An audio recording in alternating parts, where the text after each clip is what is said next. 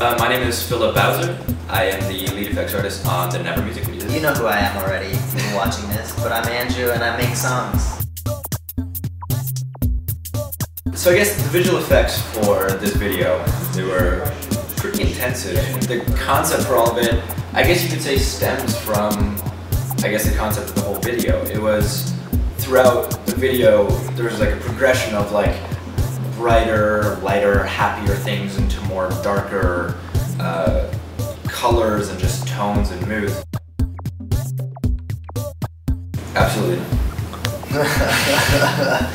oh, the challenges. uh, yes, there were a lot of challenges to uh, the Never music video. We didn't actually have photos in the frames because a lot of the frames are moving, like you'd see in Harry Potter newspapers, that kind of thing. For one shot, there could be, you know, 20 different compositions that would need to be made just to bring this one shot together.